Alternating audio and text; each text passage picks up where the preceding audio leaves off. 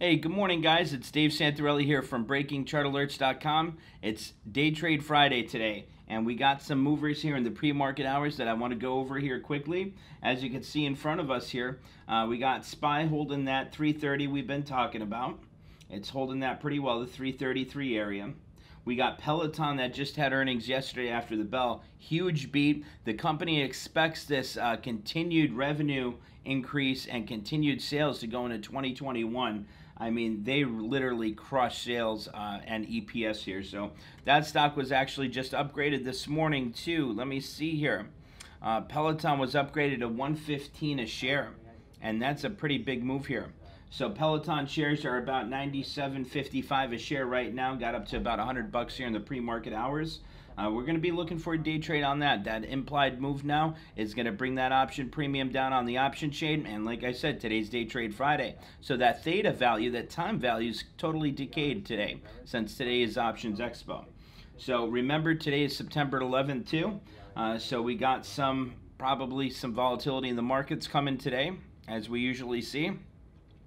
And then we got some good upgrades here today as well. Chewy was upgraded, um, raised their price target at $62 a share.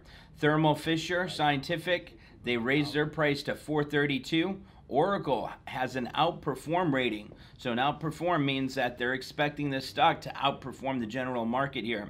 They raised their price target at $66 a share. So if we take a look at ORCL, you know, we could definitely look at that pop there. I mean, that stock's up 4.78% here in the pre-market hour. If we take a look at three months out, or I'm sorry, three years out, we're we're actually near the highs, all-time highs here on Oracle. So I could definitely be looking for a day trade or even a swing trade on Oracle.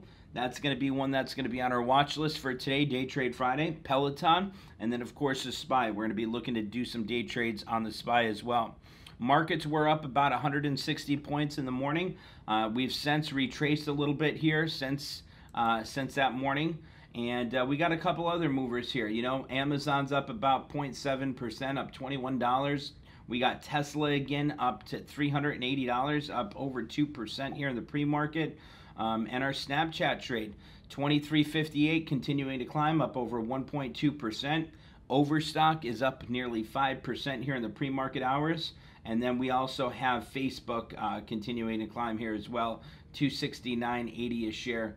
Uh, so we'll be taking a look at that as well today. And then we also have Alibaba here up about 1.5%, 271 a share.